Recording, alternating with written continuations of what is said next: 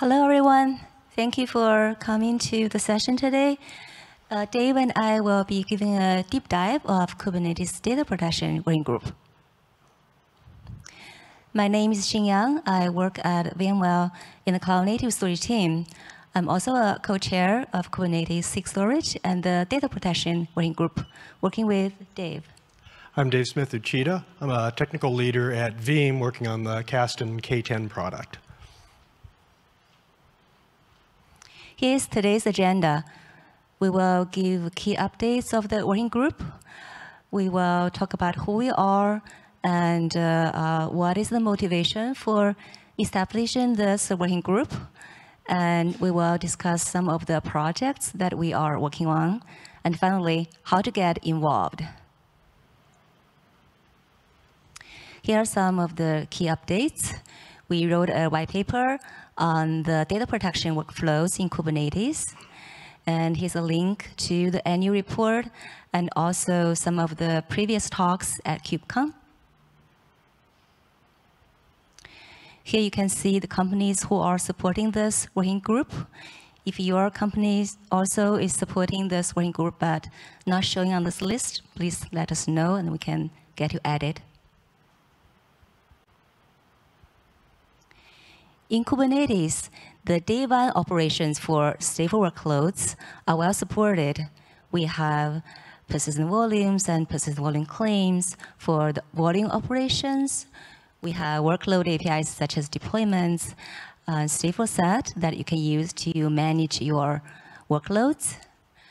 According to the 2022 survey by Data on Kubernetes community, more and more stateful workloads are moving to Kubernetes. There are different types of workloads. There are database workloads. There are AI machine learning, uh, messaging streaming, and other type of uh, workloads as well.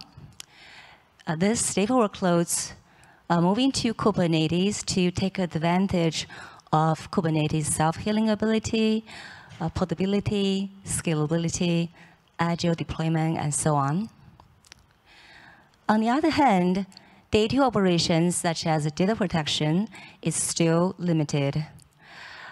GitOps workflow has limitations for stateful application. Secrets, config maps, and your precious data stored in the persistent volumes are not on the Git. So we still need to figure out how to better support data protection in Kubernetes. That's why we formed this working group. We do work with other groups. SIG Storage and uh, SIG Apps are sponsors of this working group. We also work with the TAG Storage on data protection related topics. This shows the backup workflow with existing and missing building blocks in Kubernetes. The blue color shows the process. The green color shows existing building blocks, and yellow ones are uh, uh, work in progress. And then uh, the orange ones are missing building blocks. When you take a backup of an application, we need to backup both Kubernetes metadata and the volume data. To backup volume data, there are mainly two ways. You can use the native data dump, such as MySQL dump, or you could use the controller coordinated approach, which will take a volume snapshot or a backup. And before taking a snapshot, we first want to quiesce the application. And after taking the snapshot, we want to unquiesce the application. Both the metadata and data are um, exported into a backup repository the backup repository is a repo or location that you can use to store the data and metadata. Uh, we have uh, some existing features in Kubernetes. Uh, SIG Apps has this uh, application CRD. And we also have volume snapshot. That's a feature that has been GA since 1.20 release. And we also have a COSI consistent group snapshot volume mode conversion, which I will go over later. This shows the restore workflow with existing and missing building blocks. To restore the application, we first need to import the backup from the backup repository. Then we need to restore Kubernetes metadata, including PVPVCs. And we need to re restore the, the volume data. Depending on how the data is backed up, if it's uh, backed up natively, then we need to restore from the native data dump. Otherwise, uh, we will rehydrate PVC from volume snapshot or volume backup. And there is a feature, uh, a beta feature called volume populator, which is very useful when we are doing a restore. It allows you to rehydrate the PVC from an external data source, such as a backup, not just from a volume snapshot or another PVC. This also supports the wait for first consumer volume binding mode and it uh, allows the PV to be created, populated with data, and also make sure that the PV PVC are bound.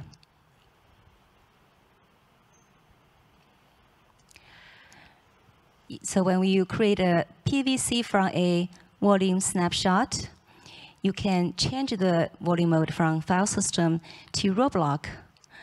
Uh, but it is possible that it could introduce vulnerability to the kernel. But on the other hand, doing this uh, volume mode uh, transition is a valid use case because we want to do efficient backups. We want to be able to retrieve change blocks. That's why we introduced this feature to prevent unauthorized volume mode conversion. We added a source volume mode field in the volume snapshot content and also an annotation on the uh, volume snapshot content called allow volume mode change. So when you take a snapshot, the external snapshotter, um, the snapshotter controller will um, populate this source volume mode field based on the PVC's volume mode.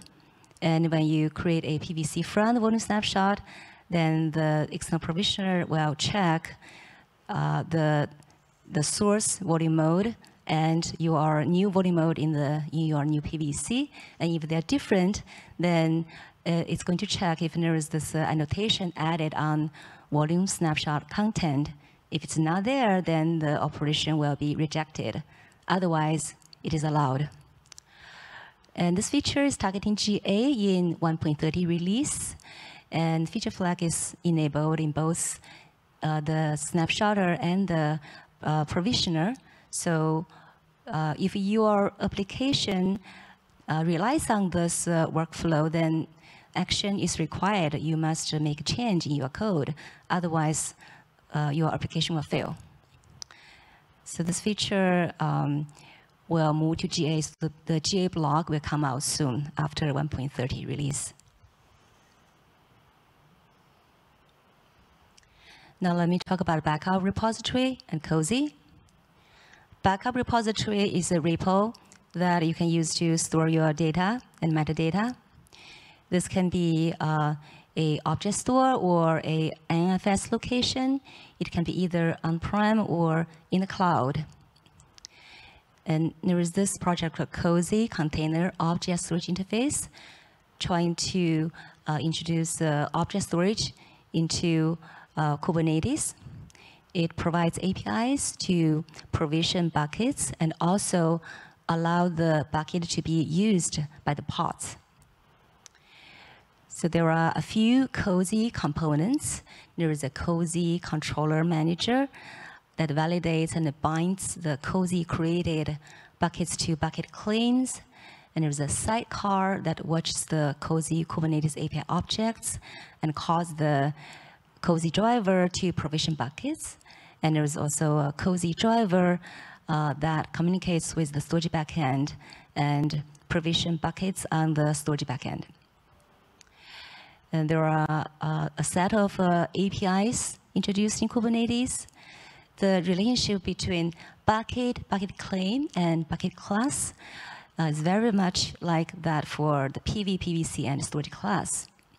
And we also have bucket access, bucket access class, uh, then that allows your pod to consume the bucket. We also introduced uh, new gRPC interfaces for you to uh, provision the buckets. So this feature right now is alpha. We are trying to move it to beta. We have uh, weekly meetings, so join the meeting if you are interested in this feature.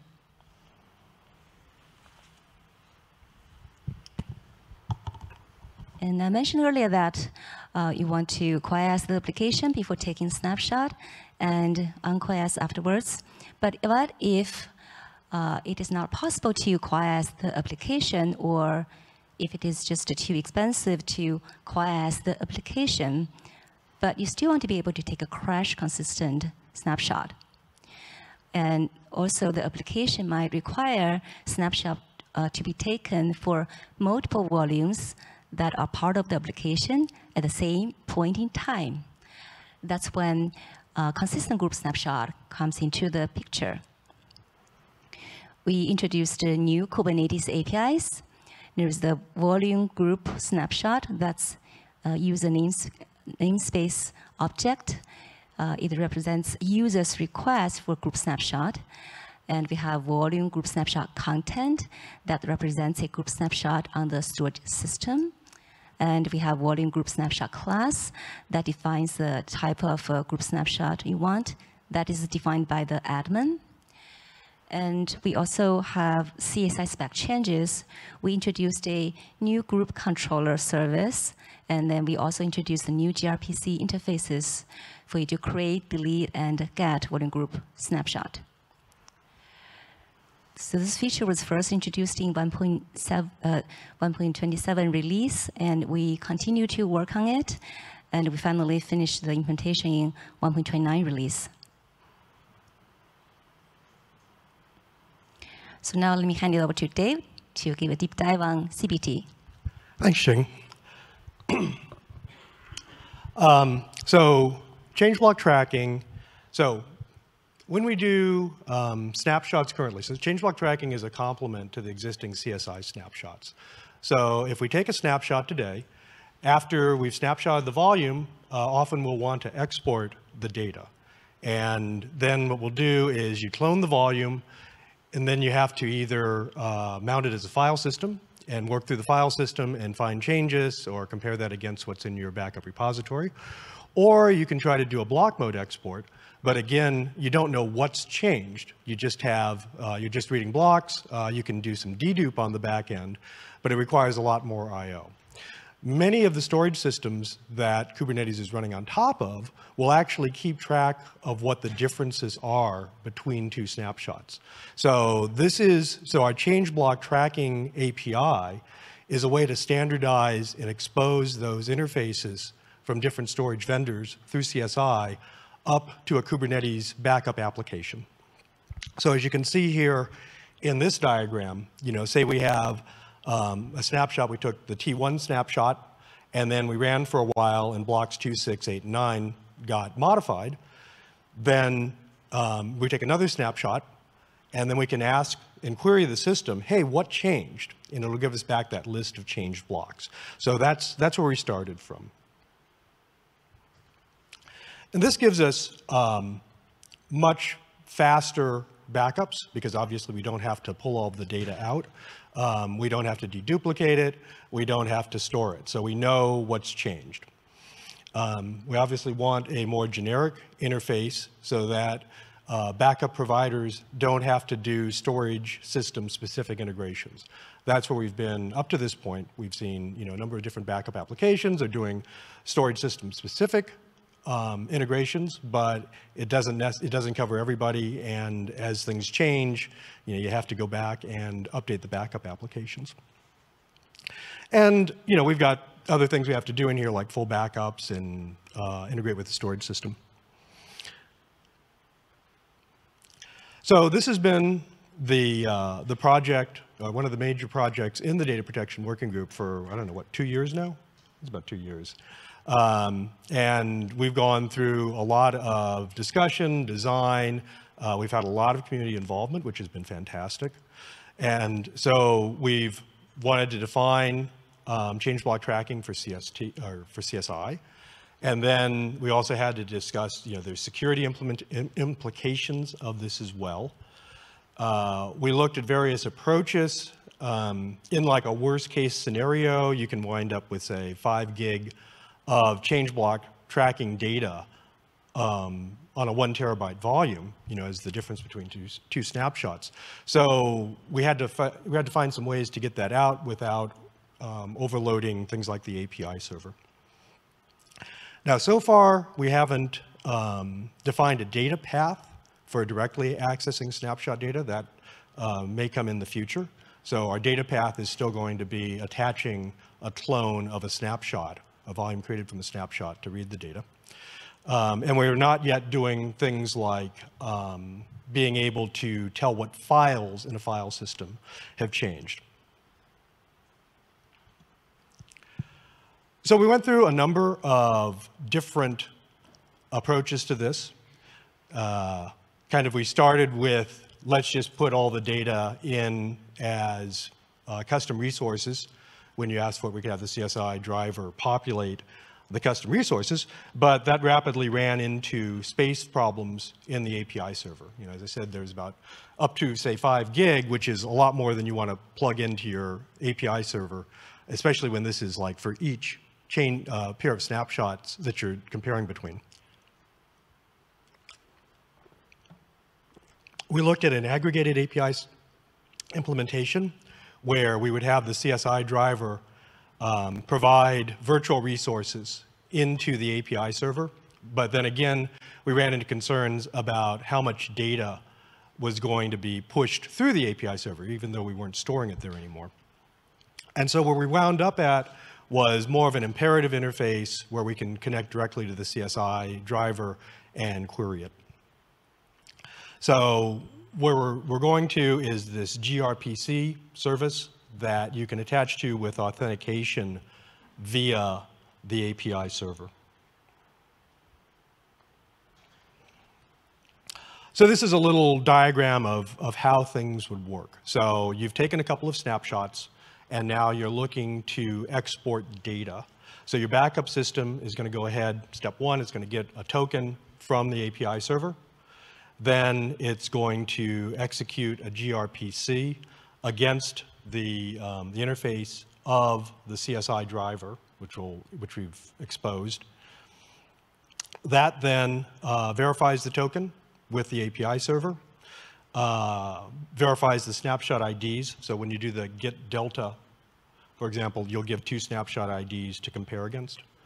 We'll verify the snapshot IDs, and then go ahead and call into CSI. So we've added some new calls into the CSI spec down below to support this. The data will come back and we'll stream it back to the backup system, and it can then use that to make decisions about what blocks to actually copy and backup. Uh, you'll notice in step two, there's actually two different calls. One is called get delta, which will get the differences between two snapshots. And another one is called get allocated, which will simply return the list of blocks that have been used so far. So for example, like on your first backup of a disk, uh, traditionally we'll do a full backup, but you know, quite often disks are not fully used. So if the storage system supports it, it may tell us, yeah, you know, yeah, you, you want to do a full backup, but reality is only these, you know, 10 gig of storage in your terabyte volume have actually even been written. So you can just start from that. So that's uh, another one of the features in there. So where are we today? So um, we've got a cross-company, um, you know, community-driven uh, team. So uh, it was originally started um, by a person from Dell EMC who's since left um, the Kubernetes stuff. Uh, Ivan Sim is now at Dell EMC. Prasad Ghangal and Carl Braganza are from Veeam. We've had input from pretty much everybody in the DP working group, uh, people from Red Hat, people from Dell EMC, people from HP, IBM. Um, so that's, I think it's been a really good um, uh, collaborative effort. So we're still targeting get the KEP merged into 130, may or may not make it, we'll see. um, but it's under review. We're still taking comments on that. We have uh, made the modifications to the CSI spec and gotten those merged and actually merged the code to support those. We have a prototype of this working at this point, and we're planning to start, set up a new repo for the, um, the CBT work under Kubernetes CSI because this is going to be alpha for a while. We didn't want to merge that in with the existing um, GA code. So then back to the working group in general. Um, you know, we're starting to wrap up on change block tracking, which has been a major effort. Uh, we're looking for places to go next. So one of the, uh, the areas of discussion right now is replication and how we can leverage storage system features that would allow us to control replication of volumes between storage systems. There's some proposals on that. We want to look a little higher up the chain and look at things like how can we actually replicate Kubernetes resources or hook up applications so they can replicate. We published our first white paper was on the needs for backup data protection in Kubernetes, when you need it, why you need it. Now we're thinking about putting together another white paper which would explain uh, how you make your application backup, restore, aware. So there's some there's some tips, you know, there's some tricks there because often you know you'll be in like a crash consistent state, so your application has to recover from that. So we're thinking about putting together a white paper that would lay out what all the, the tricks are and things you can do. So we'd love to have people get involved. Uh, this is not just for people who work on data protection software or storage systems. Uh, we'd very much like application developers. We'd like end users to give us input. You know, what do you need? What do you see as, you know, directions we can be going in? So we have our home pages here. We do a, a meeting every two weeks on Wednesdays at 9 a.m. Pacific. Uh, we have the mailing list and the Slack channel. And I think, right, we're supposed to have a QR code. Oh, well. I think that's, that's it for our uh, presentation. We're happy to take any questions you might have at this point.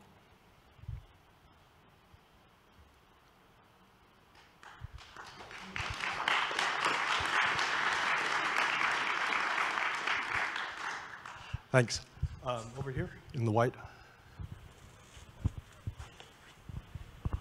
Yeah, going to your disaster recovery, um, I mean, are there any specific um, like projects that you're looking at or that you're using? I mean, I was thinking of, you know, Kanister, or um, I was thinking also, uh, you know, your um, uh, not uh, the um, Kasten K10, for example how does that come into play? Or are there is there still a huge menu that you can use that you're looking at?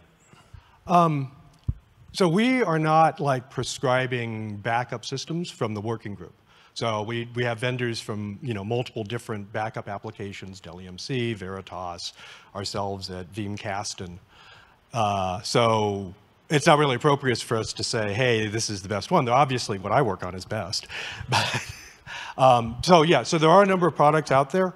Um, we do have open source projects like Kanister, uh, Velero as well, that can handle this. Uh, you're certainly welcome to come by and discuss you know, like what would work for you, or you know, we can give you some recommendations. You, the usual grain of salt, right? I mean, if I'm talking about K10, obviously I'm going to talk up K10.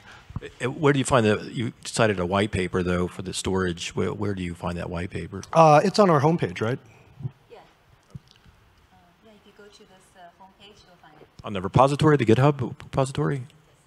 Okay. Yeah, it's actually checked in as a Kubernetes thing in, in Git. But yeah, you can get, get it from there. Great, thank you. Yeah, thank you. Any other questions?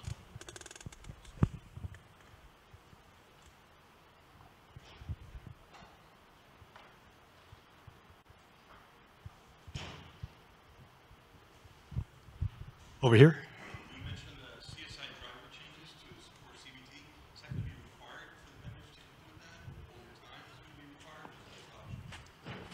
That's, that's option. So the question was, will the changes in the CSI driver to support CBT, will these be required or optional? So those are optional. in, C- if you look at CSS spec, actually, uh, there are very small number of APIs are actually required. I think it's only like mount, unmount.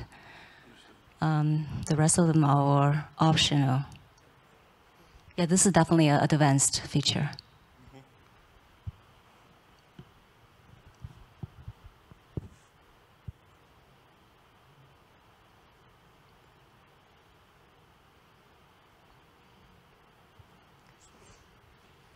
Okay, well, um, we can go ahead and wrap up then. Uh, thank you very much for coming. Uh, you know, if you do have stateful workloads, we'd advise you, you know, we ask you to come check out the group, take a look at the white paper, see if it makes sense for you. If you have com- comments, you know, we're, we're open to them and we'd love to see you come by the working group and just, you know, tell us what you need or what you think about what we're doing. And uh, thank you so much. Thanks.